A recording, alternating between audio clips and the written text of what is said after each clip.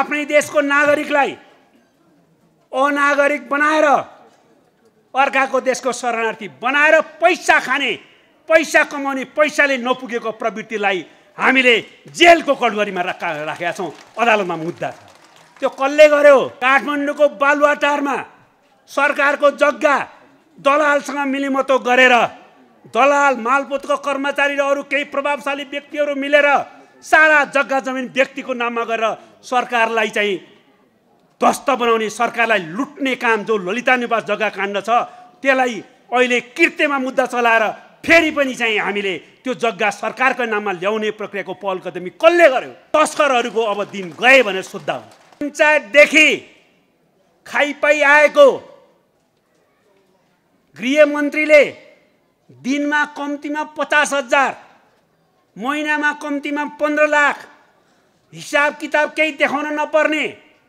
कसरी लियो कसरी खर्च गर्यो भने बिल भरपाई केही देखाउन नपर्ने गरी आइ खाइराखेको थियो। हाम्रै सरकार आएपछि मेरो गृहमन्त्री त मैले त्यो जम्मै खारेज गरिदिएँ। अरू कसैले गरेका थियो? ठुल्ठुलो कुरा गर्छन् मान्छेहरू। गरेका थियो? कसैले नकार्न सक्छ? एकजना मान्छे कोही अगाडि आएर भनुन् यो कुरा सत्य होइन भनेर। कसैले सक्छ? बग्गी चढेर अमेरिका जानु र नेपालमा अहिले सङ्घर्ष गरेर गणतन्त्र ल्याउनु एउटै हो भन्थे। होइन। त्यसो भन्नेहरू मान्छे आज ठुल्ठुलै पार्टी भन्नेहरूको नेता छन्। तिनलाई यो व्यवस्थाको मर्म थाहा छ कि हामीलाई थाहा छ? पार्टी हेर्दैनौँ। एमाले होस् माओवादी होस् काङ्ग्रेस होस् जसपा होस् हामीलाई कुन पार्टीको मतलब छैन? कुन घरानाको मतलब छैन? कसको साथी सङ्घीय मतलब छैन? अपराधी हो कि होइन? दोषी हो कि होइन हामीलाई त्यति मात्रै मतलब छ। जो दोषी हो त्यो अपराधी हो त्यसलाई हामी कारवाही गर्छौँ। सारा जनताको अगाडि सारा राजनीतिक पार्टीको अगाडि सारा बुद्धिजीवीहरूको अगाडि सारा नागरिक समाजको अगाडि नेपालमा मात्र होइन विश्वको सामु हामी भन्न सक्छौँ यो काम जो देशको आजको मुख्य काम हो यो कामहरू पुरा गर्ने कार्यभारको नेतृत्व हाम्रो पार्टीले गर्यो भने मात्रै नेपालमा यो काम पुरा हुन्छ नत्र सम्भव छैन। यो हामी दाबी साथ भन्छौँ। किन? किन भनेको हामीले यो? किनभने यो राजनीतिक परिवर्तन जो आज हामीसँग छ यो संविधान जो हामीसँग छ यो परिवर्तन र संविधान ल्याउन यो एजेन्डा प्रस्तुत गर्नेदेखि लिएर यसलाई स्थापित गर्ने निर्णायक भूमिका खेल्ने जनयुद्ध सञ्चालन गर्नेदेखि लिएर जनयुद्ध र जनआन्दोलनको संयोजन गर्नेदेखि लिएर यो संविधान जारी गर्नेसम्मको मुख्य भूमिका खेल्ने पार्टी को? कुन हो? नेकपा माओवादी हो अहिलेको माओवादी केन्द्र हो। कसैले नकार्न सक्छ? एकजना मान्छे कोही अगाडि आएर भनुन् यो कुरा सत्य होइन भनेर। कसैले सक्छ? हामीले अरू राजनीतिक पार्टीहरूलाई पनि त्यो आन्दोलनमा ल्यायौँ। जनयुद्ध र जनआन्दोलनको संयोजन गऱ्यौँ। शान्ति प्रक्रियामा अगाडि बढ्यौँ त्यो कुरा सत्य हो। तर आजको सङ्घीय लोकतान्त्रिक गणतन्त्र र समाजवाद उन्मुख समावेशी लोकतन्त्रको एजेन्डा ल्याउने र यो स्थापित गर्न मुख्य शक्ति निर्माण गर्ने काम माओवादीले गरेको होइन भनेर कहिले भन्न सक्छ म चुनौती दिन चाहन्छु। कसैले सक्दैन। नेपालमा मात्रै होइन संसारमै कसैले सक्दैन। यो त एजेन्डा माओवादीकै हो। सङ्घर्ष गरे त माओवादीले नै हो मूलभूत रूपमा। माओवादीकै कारणले यो व्यवस्था आयो भनेर भन्न त सबै बाध्य छन् स्वीकार गर्न सबै बाध्य छन्। त्यस कारणले यो व्यवस्थाको मर्मअनुसार यो परिवर्तन अनुसार आजको राष्ट्रिय कार्यभार पुरा गर्ने दिशातिर सबभन्दा बढी कोही जिम्मेवार हुनसक्छ भने त्यो माओवादी हुनसक्छ माओवादीलाई यसको मर्म थाहा छ। त्यस कारणले माओवादीले यो कार्यभार पुरा गर्न सक्छ। दोस्रो किन माओवादीले यो काम पुरा गर्न सक्छ? कोही कोही शक्तिहरू थिए। हिजो हामीले यो सङ्घर्ष गर्दा गणतन्त्रको एजेन्डा ल्याउँदा संहिताको एजेन्डा ल्याउँदाखेरि हाँस्थे उडाउँथे। गणतन्त्रको कुरा गर्दा के भन्थे? बग्गी चढेर अमेरिका जानु र नेपालमा अहिले सङ्घर्ष गरेर गणतन्त्र ल्याउनु एउटै हो भन्थे। होइन। त्यसो भन्नेहरू मान्छे आज ठुल्ठुलै पार्टी भन्नेहरूको नेता छन्। तिनलाई यो व्यवस्थाको मर्म थाहा छ कि हामीलाई थाहा छ? अनि कोही के भन्थे? हामीले तल जनताले सरकार खोज्नु पर्यो भने नपाउने सानो तिनो विकास निर्माणको काममा सरकार खोज्नु पर्यो बार तत्कालिक समस्या समाधान गरेर सरकार खोज्नु पर्यो भने पनि त्यहाँ सरकार नपाउने र सिंहदरबार आउनुपर्ने स्थिति थियो। त्यसलाई अन्त गर्न हामीले भन्यौँ होइन। सिंहदरबार मात्रै सरकार होइन। हामीले प्रदेशमा पनि सरकार स्थानीय तहमा पनि सरकार बनाउनुपर्छ सङ्घीयता स्थापित गर्नुपर्छ र जनताले खोज्दा आफ्नै पोल्टामा सरकार पाउने नयाँ सङ्घीय व्यवस्था ल्याउनुपर्छ भनेर हामीले भन्यौँ। हामीले त्यसो भन्दा ती नेताहरू के भन्थ्यो भने अब खच्चर चढेर खच्चरको सिङमा झन्डा राखेर चलाउने सरकार भन्थे सङ्घीयतालाई गिज्याउन। आज हामीले सङ्घीयता ल्यायौँ। आज स्थानीय सरकारले करोडौँ करोडको बजेट विकास निर्माणको कामहरू गरिराखेको छ। त्यहाँ निर्वाचित प्रतिनिधिले सदुपयोग गरे कि गरेन एउटा प्रश्न छँदैछ तर हरेक पालिकामा नगरपालिकामा गाउँपालिकामा आज करोडौँ रुपियाँ गइराखेको छ विकास निर्माणको निम्ति र त्यही सानातिना सुधारका काम विकासका काम त्यहीबाट हुने स्थिति कसले लिएर आयो? त्यस कारणले यो परिवर्तनको निम्ति हामीले लड्यौँ। कारण यसको मर्म नभएकोले यसलाई खोज्दिन खोजेँ। मैले दोस्रो बिन्दु पोइन्ट भन्दैछु। यस्तो स्थिति आयो कि संसद विघटन गरिदिने संविधान विपरीत काम गर्ने संविधानलाई नै कमजोर बनाउने र यो ल्याएको परिवर्तन नै खोसिने कि भन्ने जस्तो खतराको स्थिति पैदा भयो प्रतिगमन लादियो। त्यो प्रतिगमनको विरुद्ध सङ्घर्ष गरेर नेपालमा प्रतिगमनलाई असफल पारेर यो संविधान र अहिलेको परिवर्तनको रक्षा गर्ने कामको नेतृत्व मुख्य भूमिका कसले गर्यो? नेकपा माओवादी केन्द्रले गर्यो। यो पनि सत्य हो। हामी सबै मिलेर गऱ्यौँ जो प्रतिगमन विरुद्ध थियौँ तर यसको नेतृत्व माओवादीले गर्यो यो पनि सत्य हो। त्यस कारणले माओवादीले नै यसको मर्मअनुसार काम गर्न सक्छ र यस मार्फत हामीले चाहेको सामाजिक आर्थिक रूपान्तरण कामको नेतृत्व गर्न सक्छ। तेस्रो यो बिचमा मैले अघि भनेको थिएँ केही न केही काम त भएको छ। केही पनि नभए त होइन तर चाहे जति विकास हुन सकेन र जनताको जीवन पुरै फेरिएको अनुभूति गर्न पाएनन्। त्यस कारणले अब हामी त्यो काम गर्नुपर्छ भनेको थिएँ मैले। त्यो अहिलेसम्म जति काम भयो नि राम्रो त्यो कुन बेलामा भयो एकचोटि हेर्नुहोस् त। लोड सेडिङ कसले अन्त गर्यो? कुन पार्टीको सरकारले? को प्रधानमन्त्री हुँदा? नेकपा माओवादीको नेतृत्वमा कमरेड प्रचण्डको नेतृत्वमा सरकार हुँदा? हामीले लोड सेडिङ हटायौँ। चौध पन्ध्र घन्टा बत्ती आउँदैन थियो बत्ती झिलिक्क आयो भने चाडपर्व जस्तो हुन्थ्यो। बाबा बत्ती आयो भने त्यस्तो स्थिति थियो। हामीले लोड सेडिङ अन्त गऱ्यौँ। हामीले अहिले देशव्यापी रूपमा सुकुम्बासीहरूलाई भूमिहीनहरूलाई जग्गा प्रदान गर्नु निम्ति आयोग बनाएर काम गरिराखेका छन्। अव्यवस्थित बसोबास बस्नेहरूलाई व्यवस्थित रूपमा बसोबास दिने काम गरिराखेका छौँ। विदेशमा बस्ने प्रवासी नेपालीहरूलाई सामाजिक सुरक्षाभित्र हामीले अहिले ल्याएका छौँ। विदेशीमा पनि बस्ने नेपाली वास्तविक नेपालीहरूलाई मतदान गर्न पाउने अधिकार सुनिश्चित गर्ने गरी तयारी गरिराखेका छौँ र हर ढङ्गले हामी अहिले जे जे सकारात्मक काम भएको छ यो देशमा हाम्रै पार्टीको नेतृत्व सरकार हुँदाखेरि हामीले गरेका छौँ। त्यस कारणले सामाजिक आर्थिक रूपान्तरको काम कसैले गर्छ भने हिजोको काम हेर्दा पनि त्यो माओवादीले मात्र गर्न सक्छ भन्ने थियो। आज हेर्नुहोस्। आज हाम्रो पार्टीको श्रद्धेय अध्यक्ष कमरेडको नेतृत्वमा सरकार बनिसकेपछि हामीले के गर्यौँ अध्यक्ष कमरेडको पहिलो निर्देशन थियो सम्मान्य प्रधानमन्त्रीको रूपमा कि अब हामीले जनताको दैनिक कष्टलाई अन्त गर्ने कदम चालेर काम अगाडि बढाउनुपर्छ। हामीले हेऱ्यौँ आज जनताले विकास निर्माणका ठुल्ठुलो काम त अझ पछाडि। आज जनताले खोजेको यो राजनीतिक परिवर्तन पछाडि पहिलो कुरा के हो भने के होला? संविधान कानुन नियमअनुसार हुनुपर्ने काम घुस नखाइकन होस् सोर्स फोर्स नगरिकन नलाइकन होस् कर्मचारी र नेताहरूलाई दलाली गरेर चाकरी नगरिकन होस्। दिनदिनै नगाइकन होस् जनताले चाहेको पहिलो काम यो त्यसपछि उसको अरू आवश्यकताहरू पुरा होस्।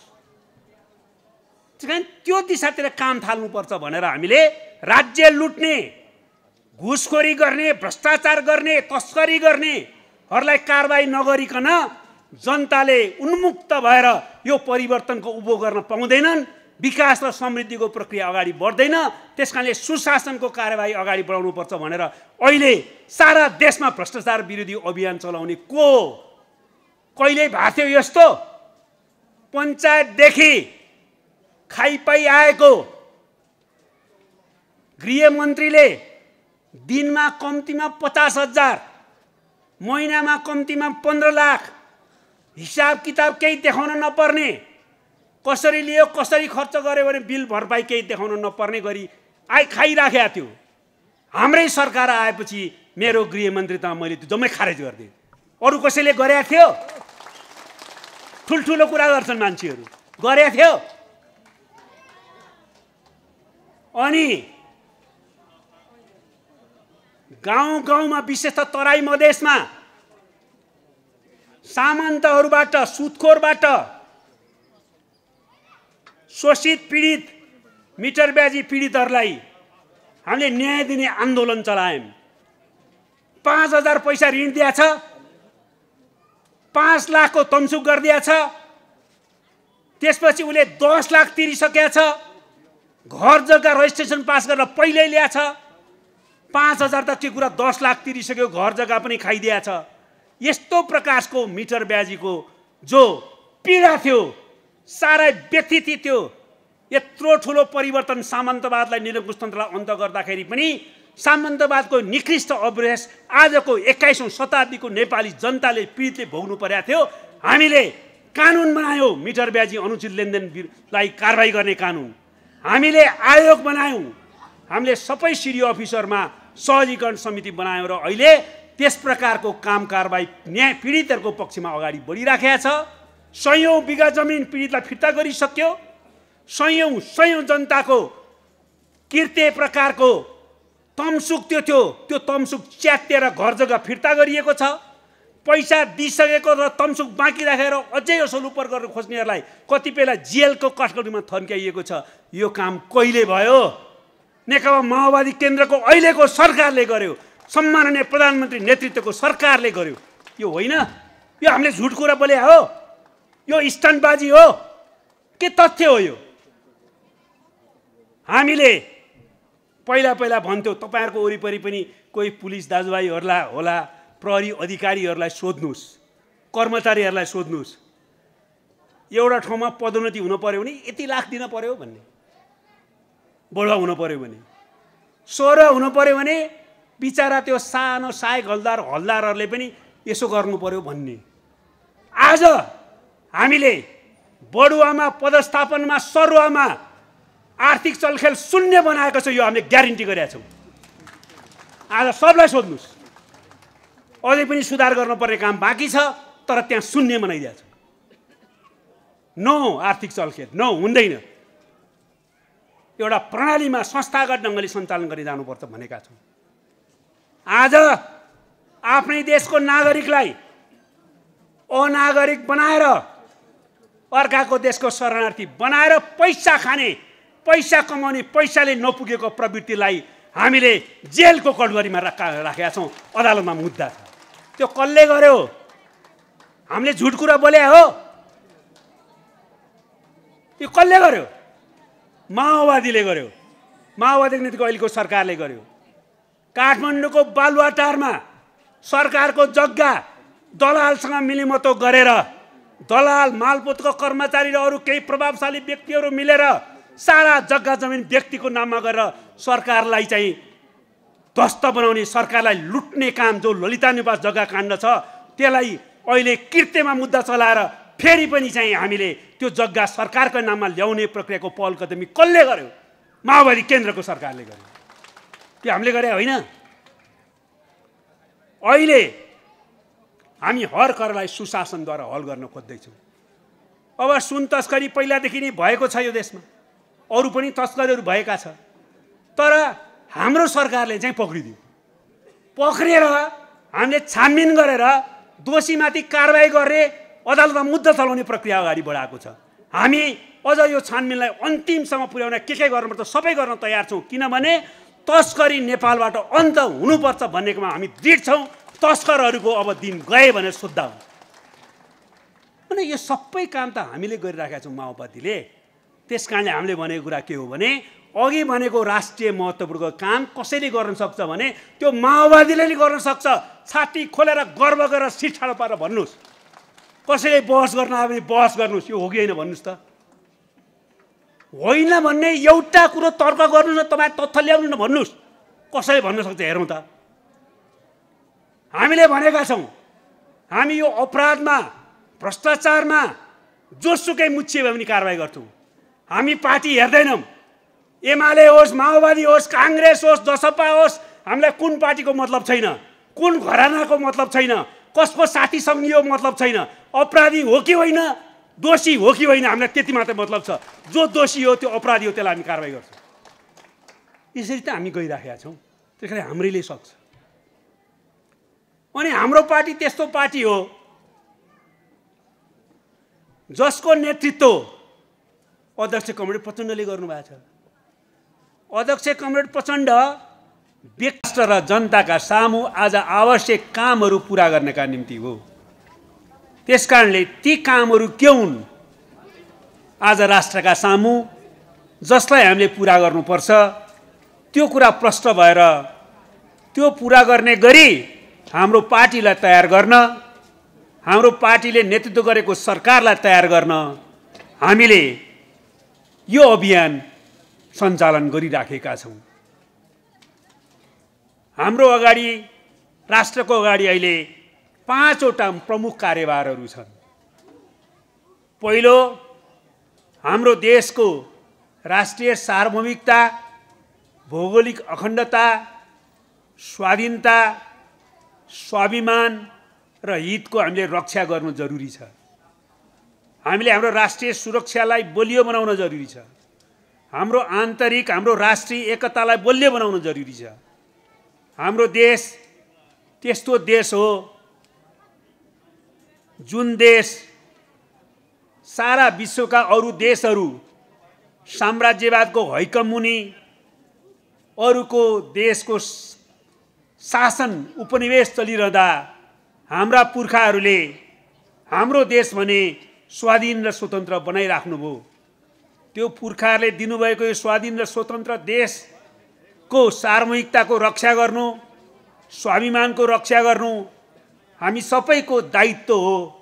त्यसमा कहीँ कतै कमजोरी हुन नपाओस् कहीँ कतैबाट यसलाई कमजोर पार्ने काम हुन नपाओस्। त्यसको रक्षा गर्न हामी सबै एकजुट हौँ। यो आजको हाम्रो पहिलो काम हो। दोस्रो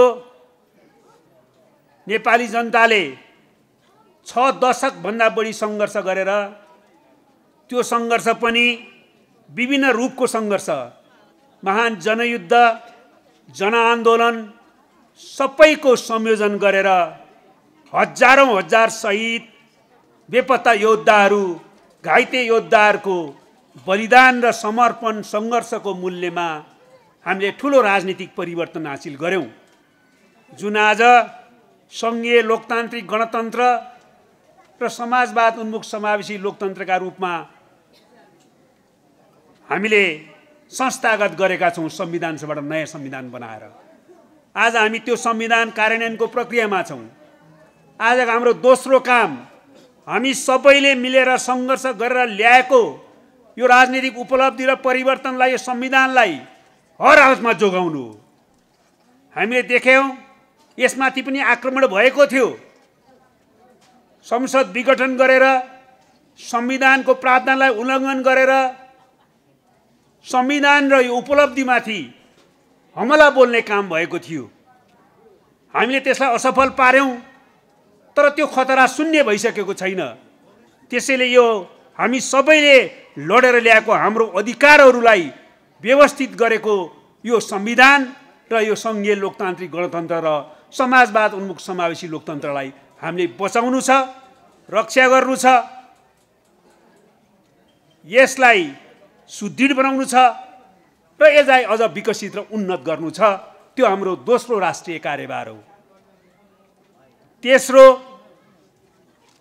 अहिले पनि हाम्रो शान्ति प्रक्रिया समग्रमा पूर्ण भइसकेको छैन।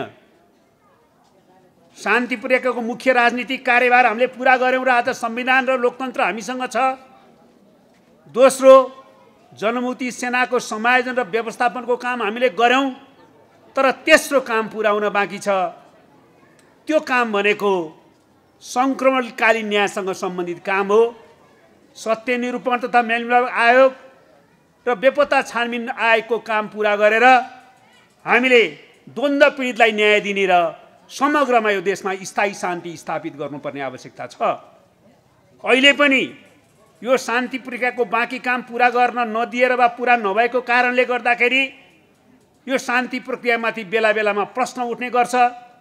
यो शान्ति प्रक्रियामा प्रश्न उठ्ने भनेको यो शान्ति प्रक्रिया भएर हामीले प्राप्त गरेको यो परिवर्तनमाथि पनि प्रश्न उठ्ने हो। त्यसैले हामीले हर हालतमा यसपटक यो शान्ति प्रक्रियालाई पुरा गर्नै पर्छ सङ्क्रमणकालीन न्यायको काम पुरा गर्नै पर्छ र देशमा दिगो शान्ति स्थापना गर्नुपर्छ। र हाम्रो अगाडिको चौथो काम हाम्रो देशको सामाजिक आर्थिक रूपान्तरण गर्नु हो। विकास र समृद्धि गर्नु हो। र त्यो समृद्धिबाट आम जनताले लाभ पाउन सक्ने गरी नयाँ प्रकारको विकास नेपालमा स्थापित गर्नु हो। हामीले यत्रो ठुलो राजनीतिक परिवर्तन गऱ्यौँ त्यो राजनीतिक परिवर्तनबाट धेरै हामीले राजनीतिक अधिकार प्राप्त गरेका छौँ।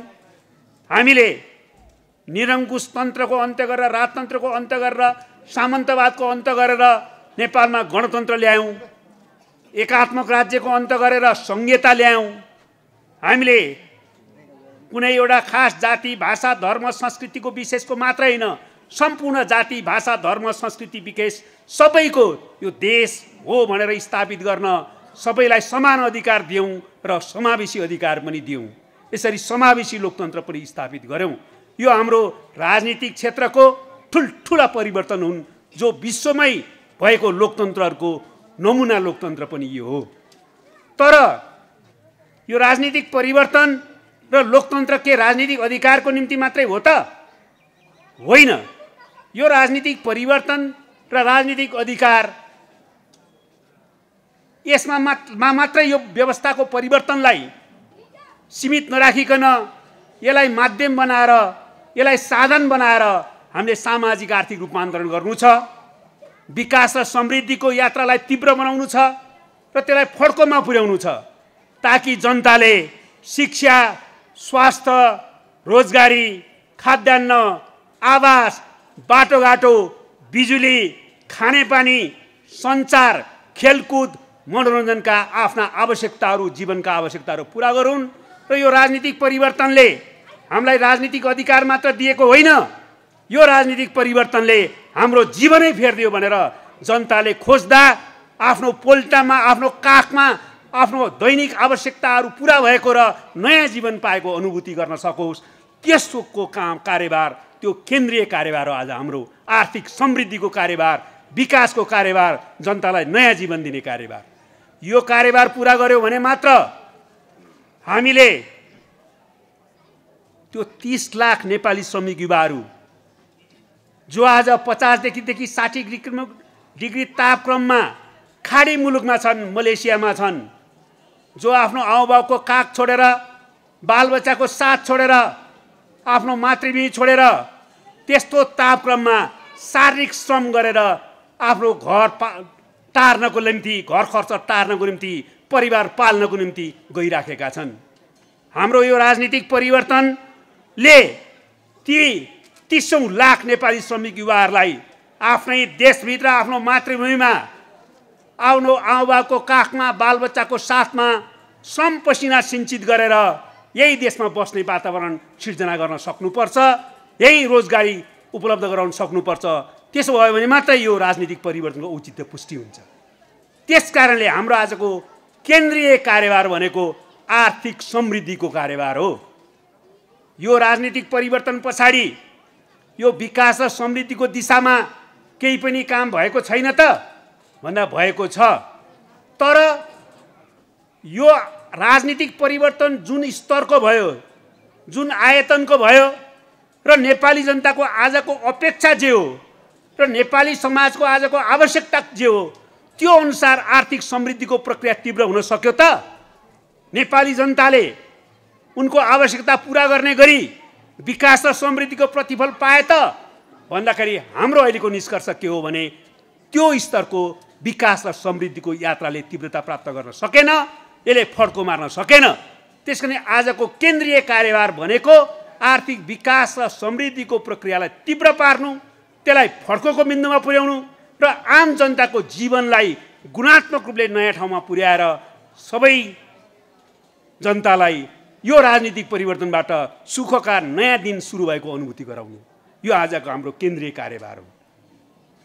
त्यही दिशातिर अगाडि बढ्न हामीले अहिले हाम्रो पार्टीले नारा दिएको छ। सुशासन समृद्धि र सामाजिक न्याय। हाम्रो पार्टीका श्रद्धेय अध्यक्षले प्रधानमन्त्रीको यसपटकको पदभार ग्रहण गरेकै दिनमा भन्नुभयो यो सरकारको मूल मन्त्र हो सुशासन भ्रष्टाचारको प्रभावकारी नियन्त्रण गर्ने भ्रष्टाचारीहरूलाई कारवाही गर्ने। अपराधीहरूलाई कारवाही गर्ने अपराध र दण्डहीनताको अन्त्य गर्ने तस्करीलाई अन्त गर्ने र सुशासन स्थापित गर्ने। सुशासन स्थापित नगरिकन हामीले समृद्धिको यात्रालाई तीव्र बनाउन सक्दैनौँ। जनताको विकासको प्रतिफल आफ्नै पोल्टामा पाउने आफ्नो जीवन फेर्ने आकाङ्क्षा र आशा पुरा गर्न सकिँदैन। त्यस कारणले सुशासन कायम गर्ने समृद्धिको यात्रालाई तीव्र बनाउने र जनतालाई सामाजिक न्याय दिने र यो राजनीतिक परिवर्तनको औचित्य पुष्टि गर्ने यो कार्यभार हाम्रो हो भनेर हामीले अहिले भनिराखेका छौँ र सरकार त्यही ढङ्गले काम अगाडि बढाउन खोजिराखेको छ। र हाम्रो पाँचौँ कार्यभार यी चारवटा तात्कालिक कार्यभारहरूलाई पुरा गर्दै हामीले पाँचौँ कार्यभार पनि पुरा गर्नुपर्छ भनेर हाम्रो पार्टीले भनेको छ। त्यो हो समाजवाद निर्माणको कार्यभार। हामीले अघि भनेका कार्यभार पुरा गरेर मुख्यत सामाजिक न्यायसहितको समृद्धिको तात्कालिक लक्ष्य पुरा गरेर समाजवादको आधार तयार पार्छौँ। तर हामी कम्युनिस्ट पार्टी हौँ र नेपालको संविधानले अन्तिम लक्ष्य भनेर समाजवाद तोकेको छ। त्यसैले हामी समाजवादी नेपाल निर्माण गर्न चाहन्छौँ। त्यो समाजवादी नेपाल निर्माण गर्ने हाम्रो रणनीतिक लक्ष्य हो। हामी त्यसमा पुग्न चाहन्छौँ र शहीदहरूको सपना पुरा गर्न चाहन्छौँ।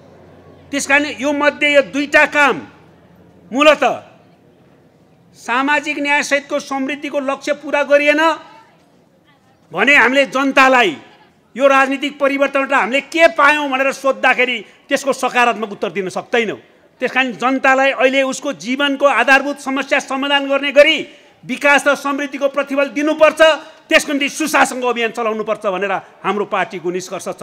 सरकारले त्यही आधारमा काम गरिराखेका तर फेरि अन्तत हामीले समाजवाद निर्माण गर्नुपर्छ। र नेपाललाई समाजवादी नेपाल निर्माण गर्नुपर्छ भन्ने कुरामा प्रश्न हुँदै हामी अगाडि बढ्नुपर्ने आवश्यकता छ। यही राष्ट्रिय कार्यभारहरू पुरा गर्न र यही केन्द्रीय कार्यभारहरू पुरा गर्न हाम्रो पार्टीले सम्पूर्ण ध्यान केन्द्रित गरेर काम गरिराखेको छ। र यो काम पुरा होला। उहाँका पनि कमजोरी होला हामी सबैको कमजोरी जस्तै मान्छे हो उहाँ पनि। तर अध्यक्ष कमरेड प्रचण्ड नै हो जसले यो परिवर्तन ल्याउन निर्णायक भूमिका खेले जनयुद्धको नेतृत्व गर्नुभयो। अध्यक्ष प्रचण्ड नै हो जसले जनयुद्ध र जनआन्दोलनको संयोजन गरेर शान्ति प्रक्रियाको नेतृत्व गर्नुभयो। अध्यक्ष प्रचण्डले संविधान सभाको निर्वाचनको प्रक्रिया र संविधान सभाबाट संविधान घोषणाको प्रक्रियाको नेतृत्व गर्नुभयो। संविधान कार्यान्वयनको प्रक्रियाको नेतृत्व गर्नुभयो। त्यसपछि त्यसमा निर्वाचनको प्रक्रियाको नेतृत्व गर्नुभयो। र अहिले तात्कालिक रूपमा सामाजिक न्यायसहितको समृद्धिको अभियान सुशासन सहितको नेतृत्व गर्दै हुनुहुन्छ।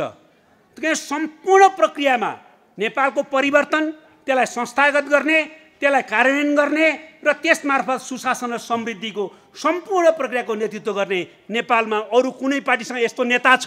कसैले भन्नु होला? छ। सुरुदेखि अन्तसम्म लाग्ने। छैन कमरेड प्रचण्ड नै हो। कमजोरीको बारेमा हामीले चाहिँ देवता हो कमरेड प्रचण्ड भन्छौँ भनेको छैन। तर यो तथ्य हो कि उहाँले नै यो सम्पूर्ण प्रक्रियाको नेतृत्व गर्नुभएको छ र आज उहाँ हाम्रो नेता हुनुहुन्छ सरकारको पनि नेता हुनुहुन्छ त्यस कारण हामीबाट नै यो सम्भव छ। पाँचौँ कुरा हाम्रो पार्टी राम्रो कुरा मात्रै हामीसँग भन्दैन। हाम्रो पार्टीले के भन्छ भने भनिराखेका छ भने हाम्रो पार्टी तुलनात्मक रूपमा सबभन्दा राम्रो पार्टी हो। हाम्रो यो परिवर्तन ल्याउने पार्टी त हो। र हाम्रो पार्टीले नै अब यो राष्ट्रको सामु आजको कार्यभार पुरा गर्ने कामको नेतृत्व गर्न सक्छ। तर हाम्रो पार्टीले आफैलाई के भन्छ भने हाम्रो पार्टी कमजोरी छ है भन्छ। अरूले भन्दैन हाम्रो पार्टीले भन्छ जनतासँग आएर भन्छ। हामी पनि केही बिग्रिया छौँ। हाम्रो वैचारिक सांस्कृतिक केही समस्याहरू देखा परेका छन्। हाम्रो पार्टी पनि यो समाजको भ्रष्टीकरण राजनीतिको भ्रष्टीकरणको केही प्रभाव छ र भ्रष्टीकरणको प्रक्रिया अगाडि बढेका छन्। विधि पद्धति संस्थागत ढङ्गले काम गर्नेमा केही समस्या देखा परेका छन्। जनतासँग घुलमिल हुने हिजो त्यो मजदुर किसान दलित सुकुम्बासी गरिब जनजाति महिला पिछडेको क्षेत्रको जनता जसले हामीलाई बनायो जससँग मिलेर हामीले सङ्घर्ष गऱ्यौँ तिनीहरूसँग हाम्रो सम्बन्ध बिस्तारै खुकुलो खुकुलो हुँदै गएको र बिस्तारै बिस्तारै अरू वर्ग दलाल नोकरसा पुँजीवर्गसँग सम्बन्ध उठबस बढ्दै गएको त होइन। हामीले आत्मालोचना गर्नुपर्छ भनेर हामीले भनेका छौँ। त्यस कारण हाम्रो पार्टी एकदम शुद्ध छ। हाम्रो पार्टी चाहिँ चोखो छ हाम्रो पार्टी पर्फेक्ट छ हामीले भनेको छैनौँ। हाम्रो पार्टीमा पनि कमजोरी छ। त्यो कमजोरी तपाईँहरूसँग मिलेर तपाईँहरू पनि सुझाव लिएर हामी सच्याउँछौँ भनेर जनतामा कबुल गर्ने नेपालमा एउटै पार्टी छ त्यो माओवादी पार्टी हो। अरू कसैले आफ्नो कमजोरीहरूको आत्मालोचना गरेका थिए। त्यस कारणले यो कामको नेतृत्व गर्ने काम हाम्रो पार्टीले मात्र गर्न सक्छ भन्ने हाम्रो दाबी हो। अब यही काम गर्नलाई हाम्रो पार्टीले के भनेको छ भने त्यसैले हाम्रो पार्टीलाई अझ राम्रो बनाऊ। एकताबद्ध क्रान्तिकारी र शक्तिशाली पार्टी बनाउनु पर्यो हाम्रो पार्टीलाई।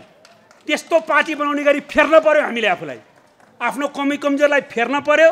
त्यसै रूपान्तर र पुनर्गठन गरेर हाम्रो पार्टी र कम्युनिस्ट आन्दोलनमा देखाएर परेको अहिलेको वैचारिक सांस्कृतिक समस्या वैचारिक सांस्कृतिक सङ्कटलाई समाधान गर्नु पर्यो। रूपान्तरित पुनर्गठित क्रान्तिकारी र शक्तिशाली पार्टी बनाउनु पर्यो भन्ने हाम्रो निष्कर्ष छ। त्यही निष्कर्ष अनुसार अहिले हामी तिन तहको कार्यक्रम गर्दैछौँ। म अब अन्तिम अन्तिमतिर आइपुगेछु।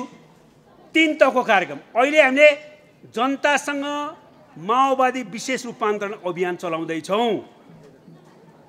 त्यसपछि वैशाखमा विधान सम्मेलन गर्छौँ। त्यसपछि दुई तिन महिना पछाडि विशेष राष्ट्रिय महाधिवेशन गर्छौँ र हाम्रो रूपान्तरण र पुनर्गठनको हाम्रो पार्टी एकीकृत क्रान्तिकारी र शक्तिशाली पार्टी बनाउनेको उत्कर्ष बिन्दुमा चाहिँ विशेष महाधिवेशनमा पुर्याउँछौँ भन्ने हाम्रो निष्कर्ष छ। त्यसो भए अहिले चाहिँ के गर्छौँ त? यो विशेष रूपान्तरण अभियानमा के गर्छौँ? तपाईँहरू हाम्रो साथीहरू एकदम राम्रोसँग सुनिदिनु होला। अहिले हामीले तिन प्रकारको कार्यक्रम गर्छौँ। तपाईँहरूले गरि पनि राख्नु भएको छ। एउटा पार्टीको सबै सदस्य समर्थक कहाँ जाने? पार्टीको विचार के हो सिद्धान्त के हो राजनीति के हो अहिले सरकारले गर्न खोजेका के हो र के गरिरहेका छ बुझाउने? पार्टीका साथीहरूलाई पनि। पार्टीको वैचारिक राजनीतिक लाइन बुझाउने। सबै कमिटीहरूको बैठक गर्ने। जो सदस्यता नवीकरण गर्नुपर्छ त्यो नवीकरण गर्ने। जहाँ नयाँ सदस्यता दिन सकिनेछ त्यहाँ नयाँ सदस्यता दिने। कमिटी फेरि पुनर्गठन गर्ने र सबैलाई वैचारिक राजनीतिले प्रशिक्षित गर्ने। यो चाहिँ पार्टीसम्म पुग्ने काम। कोही पार्टी सर समर्थक नछुटोस्। नयाँ सदस्य दिन सक्ने कोही नछुटोस् सबैलाई नयाँ सदस्यता दिउँ। पहिलाको नवीकरण गर्नुपर्ने काम सबै नवीकरण गरौँ। लेबी कोटा लिनुपर्ने काम त्यो पनि गरौँ। वैचारिक राजनीतिक प्रशिक्षण गरौँ र पार्टीसँग पुग्ने र एउटा सुझाव लिने काम गरौँ। हाम्रो पार्टीले यो सारा देशको अघि भनेको कार्यभार पुरा गर्न आफूलाई कसरी फेर्ने तपाईँहरूको विचारमा भनेर सुझाव लिने काम पनि गरौँ र यो तिन महिने अभियान यसरी पार्टीको हकमा यति काम गरौँ। जनताको हकमा के गर्ने तिन महिने अभियानमा? तपाईँहरूलाई अहिले भनिसकिएको छ। हरेक जनताको घरमा पुग्ने बाहिर निस्केर अघि पार्टीकोमा त पुग्नै पर्यो। खालि पार्टीको साथीहरूका मात्रै पुग्ने होइन। हरेक जनताको घरमा पुग्नु पर्यो। बाटोमा निस्केर पार्टीको झन्डा हल्लाएर एकजनाले बोलेर हाम्रो विशेष रूपान्तरण अभियान तेह्र नम्बरको यो कार्यक्रम हो भने सकियो भन्न पाइँदैन। हरेकको घरमा जानुपर्छ। हरेकको घरमा। माओवादीको घरमा मात्रै होइन भोट दिनेको घरमा मात्रै होइन।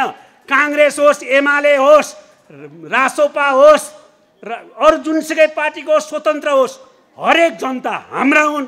हरेकको घरमा हामी पुग्नुपर्छ र भन्नुपर्छ यो परिवर्तन माओवादीले ल्या हो त हो कि होइन? तपाईँलाई के लाग्छ? यो खोसिन लाग्थ्यो एकपटक। संसद विघटन भइसकेका थियो। त्यो बेलामा लड्ने सबभन्दा ठुलो शक्ति कुन थियो? कसरी लड्यौँ हामीले? लडेर फेरि बचाइयो नि त। अहिले भ्रष्टाचार विरोधी कार्यक्रम तपाईँलाई कस्तो लागेको छ त? देशमा नक्कली भुटानी बनाएर पैसा खाना खोज्ने त जेल गयो ठिक भयो कि बेठिक भयो? हामीले त यसो गऱ्यौँ। तपाईँ के भन्नुहुन्छ? भन्नु पऱ्यो हामीले बालुटारकै जग्गा खाइदिने सरकारी जग्गा खाइदिने। तिनलाई पनि जेल पठाउनु पऱ्यो भन्ने ठान्यौँ तस्करहरूलाई अब तस्करी गर्न नदिने जरैसम्म तस्करीको अनुसन्धान गरेर कारवाही गर्ने भन्यौँ हामीले। अरू पनि गर्दैछौँ। यो ठिक छ कि छैन तपाईँलाई के लाग्छ भन्नु पऱ्यो र अब पनि तपाईँहरूको सुझाव के छ? बाहिर माओवादी भनेर गाली गरे पनि भ्रष्टाचारलाई कारवाही गऱ्यौँ हामीले तपाईँलाई के लाग्छ भन्दाखेरि किन गरे भन्ने लौ त कसैको हिम्मत? आम्ने सामने जाँदाखेरि किन गरे कारवाही हँ?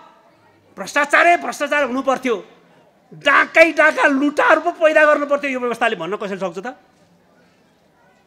त्यस कारणले एकछिन नसुने जस्तो गरे पनि एकछिन कराए पनि तपाईँहरू गइसक्यो त्यो माओवादी के हो अर्कै पो भएर आज त। भन्छन्। होइन? तपाईँ कुरा सुन्छन् अर्कोचोटिदेखि सबैले नसुन्न अरू केही थपिन्छन्। किनभने काम गर्ने हो नि। राम्रो काम गर्ने पछि त राम्रो काम गरे यो भन्नु पऱ्यो अझै पनि माओवादीलाई तपाईँको सुझाव केही छ कि? आर्जना छ कि? त्यो पनि भन्नुहोस्। अनि यो गाउँको अहिले विकास गर्न के छ तपाईँको सुझाव? हामी प्रदेश सरकारलाई वा स्थानीय सरकारलाई भन्छौँ र आवश्यक परे सङ्घीय सरकारलाई पनि भन्छौँ टिपोट गरेर लैजान्छौँ। अहिलेको मुख्य समस्या के हो तपाईँहरूको? त्यो पनि भन्नुहोस् न। होइन भनेर भन्छौँ। त्यो टिपोट गर्छौँ। टिपोट गर्ने च्यातेर फाल्ने होइन। त्यो टिपोट गरेर ल्याउने आफ्नो कमिटीमा बस्ने यो माग पुरा गर्न जनताको यो माग पुरा गर्न स्थानीय सरकार वा प्रदेश सरकार वा सङ्घीय सरकार के गर्नु त रिपोर्ट ल्याउने र हामीले अनिवार्य रूपमा सम्भव काम जनताको गरी छाड्ने त्यो सङ्कल्पसहित अहिले हामीले जनताको बिचमा जाने हो। यसरी हामी जनताको बिचमा जान्छौँ। तेस्रो पाटो पनि छ यसको। आम जनता र पार्टीको सम्म त भइहाल्यो। फेरि जनताको एउटा विशिष्ट समुदाय हिस्साहरूसँग छुट्टै विशेष भेटघाट गर्ने शहीद परिवारसँग बेपत्ता योद्धा परिवारसँग घाइतेहरूसँग उनीहरूको सम्मान कार्यक्रम राख्ने। जुनसुकै पार्टीको होस् वरिष्ठ नागरिकहरू ज्येष्ठ नागरिकहरूको छुट्टै सम्मान कार्यक्रम राख्ने। त्यो समाजमा समाजसेवा गरेका समाज परिवर्तनमा भूमिका खेलेका शिक्षा क्षेत्रमा योगदान गरेका स्वास्थ्य क्षेत्रमा योगदान गरेका विकास निर्माणमा योगदान गरेका सम्मानित व्यक्तिहरूलाई ल्याएर साझा रूपमा सम्मान गर्ने। त्यो काम हामी गर्छौँ अहिले अभियान। अनि नीति निर्माण गर्न केन्द्रले हामीले सबै शिक्षा स्वास्थ्य उद्योग वाणिज्य अर्थतन्त्र सबै क्षेत्रका हामी अन्तर्क्रिया कार्यक्रम गर्छौँ र यो अभियान सक्छौँ। यो अभियान यसरी सकेपछि हामी विधान सम्मेलन गर्छौँ। विधान सम्मेलन गरेर हाम्रो पार्टीको विधानलाई अझै राम्रो बनाउँछौँ। त्यो तलबाट छलफल गर्दै गर्दै हाम्रो पार्टीको विधान कस्तो हुनुपर्छ भनेर सुझावहरू लिँदै हामी विधान सम्मेलन गर्छौँ र हाम्रो पार्टीको विधान राम्रो बनाउँछौँ र त्यो विधानलाई हर हालतमा कार्यान्वयन गर्ने यात्रा जान्छौँ हामी। अहिले हाम्रो आछ नि धेरै ठुल्ठुलो सङ्ख्याको कमिटी छ बैठकै हुँदैन। अनि इन्चार्ज अध्यक्षले त्यही जे भन्यो त्यही पार्टीको कुरा। कहाँ हुन्छ त्यसरी? त्यसो त हुँदैन नि। कमिटीको बैठक बस्न सक्ने हुनु पऱ्यो कमिटीको बैठकले निर्णय गर्नुपर्ने हुनु पऱ्यो आदेश दिएको भरमा कमिटीको निर्णय हुँदैन। त्यस कारण विधानै त्यस्तो बनाइन्छ अब। जहाँ कमिटीले बैठक बसेर निर्णय गर्ने त्यसरी विधान सम्मेलन गर्छौँ हामी। त्यो विधान सम्मेलन गरिसकेपछि त्यो विधान अन्तर्गत तलैबाट अधिवेशनहरूको लहर सृष्टि गर्छौँ र त्यसपछि तिन महिना जतिपछि विशेष राष्ट्रिय महाधिवेशन गर्छौँ जसले वैचारिक सैद्धान्तिक राजनीतिक लाइनलाई पनि विकसित गर्छ जसले नेतृत्व पनि नयाँ विधानअनुसार चुन्छ र जसले नयाँ कार्ययोजना हाम्रो रूपान्तरको कार्ययोजना पनि बनाउँछ र नयाँ नेपाल बनाउने सङ्कल्पसहित विचारसहित नेतृत्वसहित हामी अगाडि बढ्छौँ र रूपान्तरित पुनर्गठित नयाँ पार्टी र नयाँ नेपालको खाकासहित हामी अगाडि बढ्छौँ। त्यसको निम्ति हो आजको विशेष रूपान्तरण अभियान। यो कुरालाई मर्म गर्नुलाई खालि तिन महिना सक्दिने अलिअलि चलायमान हुने भन्ने मात्रै अर्थमा बुझ्नु हुँदैन। ठुलो मिसन ठुलो अभियानसहित लाई केन्द्रबिन्दुमा राखेर हामीले यो काम गरिराखेका छौँ। एक अर्थमा अध्यक्ष कमरेडको नेतृत्वमा नेपालको नेपाली मौलिकताको सांस्कृतिक क्रान्ति पनि हो यो। सांस्कृतिक क्रान्तिले दुईवटा लक्ष्य बनाएको छ। एउटा हाम्रो समाजमा भ्रष्टाचारलाई व्यथितिलाई दण्डहीनतालाई अन्त गरेर सामाजिक आर्थिक रूपान्तरण गर्ने अर्को हाम्रो पार्टीमा वैचारिक सैद्धान्तिक स्खलन सांस्कृतिक स्खलन पद्धतिहीनता व्यक्तिवाद गुटबन्दी भ्रष्टीकरणलाई अन्त गरेर शुद्धिकरण गर्दै रूपान्तरण गर्दै पार्टीलाई पुनर्निर्माण गर्ने दोस्रो लक्ष्य हो हाम्रो यो सांस्कृतिक क्रान्तिको यो अभियानमा हामी नेपालको मौलिक ढङ्गको सांस्कृतिक क्रान्ति अगाडि बढिराखेका छौँ र यो सांस्कृतिक क्रान्ति फेरि गलत प्रचार नगरियोस्। यो सांस्कृतिक क्रान्ति विधान सम्मत रुल अफ ल अन्तर्गत हुन्छ नेपालको विशेषतामा। संविधान लागू गराउने कानुन लागू गराउने पार्टीको विधान लागू गराउने दृष्टिकोणभित्र रहेर नेपाली ढाँचाको मौलिक सांस्कृतिक क्रान्ति सम्पन्न गरेर नेपालमा हामीले रूपान्तरण पार्टीको सामाजिक आर्थिक रूपान्तरण समाजको गर्छौँ र शहीदहरूको सपना पुरा गर्छौँ।